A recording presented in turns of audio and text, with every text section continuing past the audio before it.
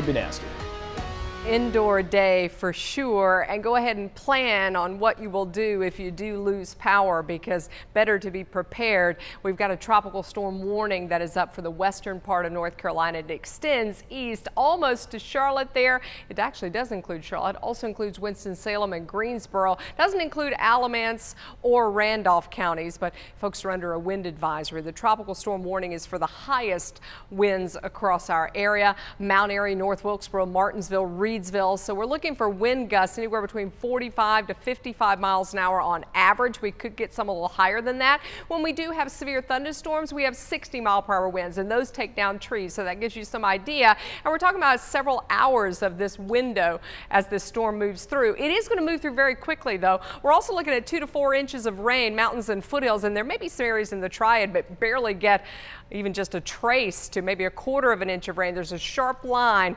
where we will not have any rain, and there is a chance for severe weather. We'll talk about that in just a minute. Temps in the 60s right now, warm and muggy out there. They'll be in the upper 70s, close to 80 tomorrow afternoon as that tropical air moves in. You can see some of the showers right now, again, focused up against the mountains. You may pick up an inch by early tomorrow morning, and then by about 8, 9 a.m., we're expecting the remnants of this to be moving into the mountains, and then behind it, a strong low pressure system that's been bringing snow and ice to the southern plains states, and is going to bring us some real cold air for the weekend. So this will move rapidly to the northeast. 80 mile per hour winds. The forward speed has jumped from about 20 miles an hour earlier this afternoon to now 31 miles an hour. That's how fast this storm system is moving. It is going to cover Alabama and Georgia and parts of Tennessee by tomorrow morning. And then by tomorrow night, it is already out into the Atlantic there near Delmarva.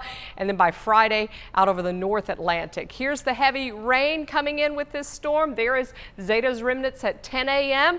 So I think that window between about 9 and noon is going to be the wettest for most areas. By afternoon, most of the heavy rain is off to the east, and then we do have that slight chance that we'll see some thunderstorms popping up ahead of our cold front across the central and eastern parts of the triad by tomorrow evening. So we do have that marginal risk for isolated strong to severe storms. Any storms that develop in this area may have damaging winds, but there's also a slight chance we could have isolated tornadoes. Here's the rainfall forecast, and you can see it's kind of shifted. We've been watching this closely. Any shift in the track, and you're going to see rainfall totals go up. Up until right now, I've only seen about a half of an inch in the triad, so I want you to go ahead and still prepare for some pretty heavy rains across central and western North Carolina as this storm track is going to be moving through right overhead.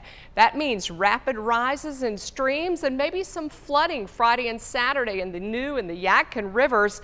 Most of that rain is going to take place tonight and during the day tomorrow. Wind advisory for Burlington, Asheboro, our eastern counties for wind gusts of 40 miles an hour. Heavy rain 9, 10, 11 a.m. This is noon and then you're shoving it off to the east. The numbers that are on the screen, those are wind gusts, which are averaging at about 40 to 50 miles an hour, and then they will come down some tomorrow afternoon when the front comes through, but it's still going to be windy. So we're on alert status for tomorrow. Upper 70s, southwest wind extremely strong. Foothills also upper 70s tomorrow afternoon. Upper 60s expected in the mountains. Rain again, morning, midday. Wind continues all day. Prepare for debris potentially blocking roads as well as power outages and also prepare for some cold air coming up this weekend. 30s are in the forecast several days on our seven day. All right.